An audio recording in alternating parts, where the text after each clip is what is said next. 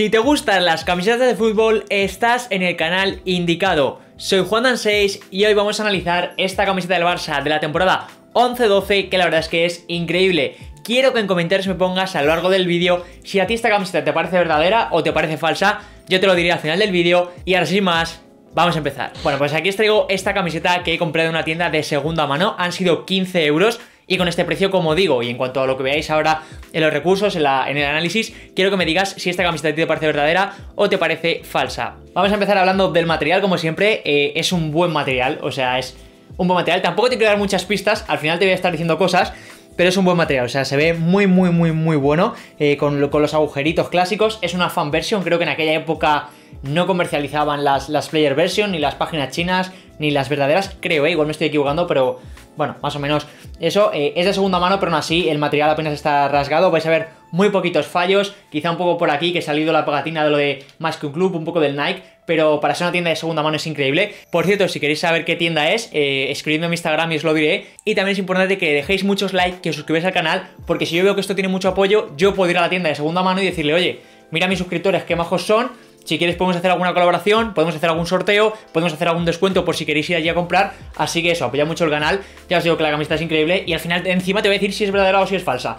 En caso de que cuanto a material está muy bien hecha, o sea, es increíble, se ve bien, además se ajusta bastante al cuerpo. Estáis viendo que es una talla M y está bastante bien. Aún así queda un poco holgada porque, como digo, es una fan versión, pero el material es increíble, o sea, sinceramente increíble. Tema de diseño la verdad es que la camiseta que hizo Nike me gusta un montón. Bastante similar a esta que tengo, ¿vale? Esta que tengo, que os dejo por aquí la review, que esta sí que, que es falsa 100%, esta ya lo veremos.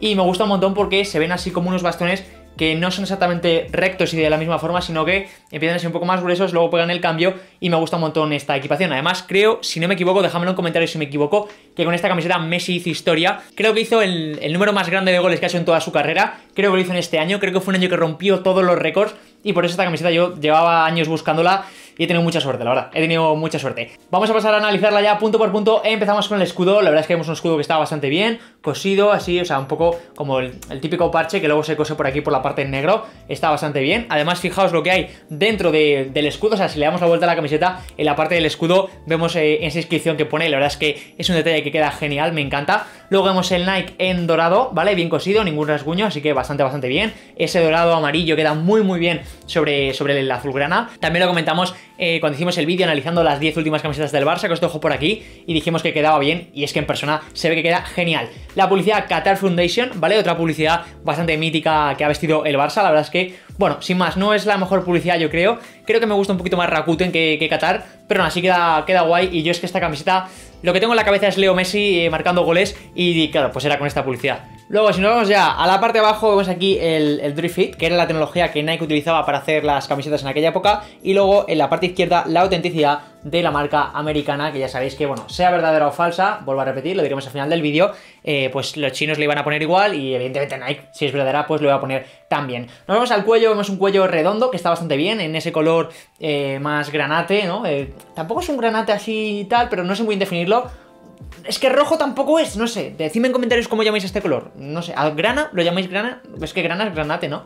No sé, el caso es que, bueno, lo que os decía, dentro del cuello sí que no se ve bien aquí lo de, lo de que un club, eh, con el Nike está un poco, pues eso, de los lavados que se le ha ido, pero bueno, sinceramente, no me importa por el precio que he pagado y por el camisetón que, que, tengo. Vámonos ya a la manga derecha, en este caso solo encontramos el parche de la Liga Española, el antiguo además, que es bastante feo, mucho más rectangular, no me gusta mucho. Y la manga sí que es importante, esto va en azul. No encontramos la pretina en otro color. En azul me gusta, ¿eh? Prefiero que la pretina sea así a que hubiese sido en ese granate. Y luego la manga izquierda pues no encontramos nada más allá de, bueno, pues la etiqueta aquí del precio.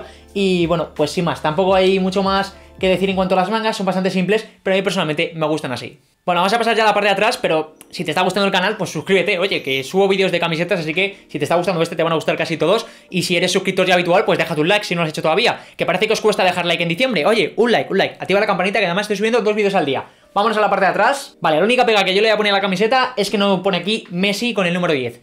Pero claro, al ser una camiseta de segunda mano, tú no puedes elegir comprártela. Podría ir a la tienda del Barça a intentar ponerle ese número, pero claro, no van a tener la tipografía de aquella época. Y bueno, se queda un poco sosa la espalda. Por aquí arriba encontramos esto que pone la etiquetita de FCB, Fútbol Club Barcelona, la banderita de Cataluña. Fijaos qué bien está hecho este semicírculo, ¿vale? El semicírculo está todo bien cosido, no hay ningún hilo suelto y han pasado muchos años desde que esta camiseta se hizo y está pues eso, todo simétrico, sin hilos sueltos y demás. Y luego en la parte de abajo la publicidad de UNICEF, mítica también, en amarillo, bueno, amarillo dorado queda muy bien. Se queda un poco sosa por atrás, pero en general es un camisetón. Momento de la verdad, chicos, esta camiseta es verdadera o falsa, ¿cómo sé si es verdadera y falsa? ¿Cómo sé si has dejado un like o no lo has dejado? Pues déjalo. Este vídeo tiene que llegar al máximo posible para que además yo vaya a la tienda y, pues les diga, mira qué majos son.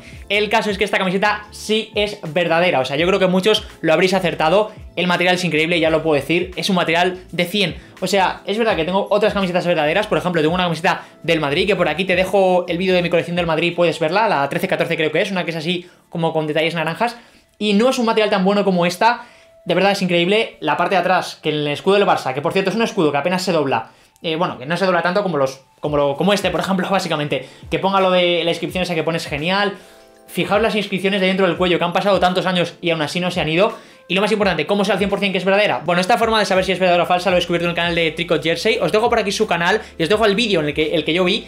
No, él no sabe que le he promocionado, así que si podéis, id a su vídeo que está genial. Si queréis suscribiros, pues suscribíos al canal. Pero ponedle en comentarios que veis de mi parte. Oye, que Juan me ha recomendado tu vídeo, está muy bien. A ver qué cara se le pone y a ver qué pasa. Igual una futura colaboración. El caso es que, bueno, eh, el compañero Tricots, como digo, explicó cómo se hace. Y es que por dentro de la camiseta hay una etiquetita que vosotros estáis viendo ahora en pantalla, que es como el número de serie de la camiseta. No sé exactamente el número de serie, no sé si esa es la terminología correcta. Pero el caso es que es una etiqueta que solo la llevan las equipaciones verdaderas. Entonces yo me he ido a Wallapop, creo que fue, me he ido también a eBay, ¿vale? Tiendas de segunda mano, eh, pues de distintos mercados, y he buscado a gente que vendiese esta misma camiseta y que la pusiesen como que era verdadera. Y en distintas páginas y distintas fuentes he encontrado que todos tenían el mismo número de serie que esta camiseta que yo he comprado.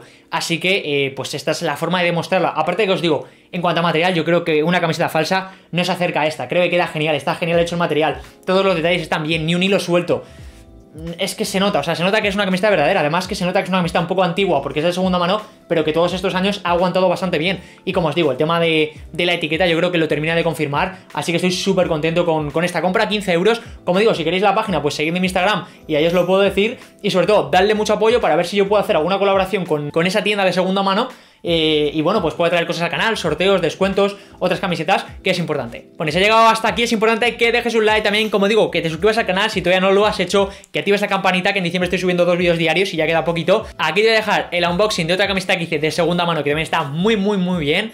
Y nada, muchísimas gracias por estar ahí, espero que sigáis apoyando y mañana nos vemos con dos nuevos vídeos. Adiós.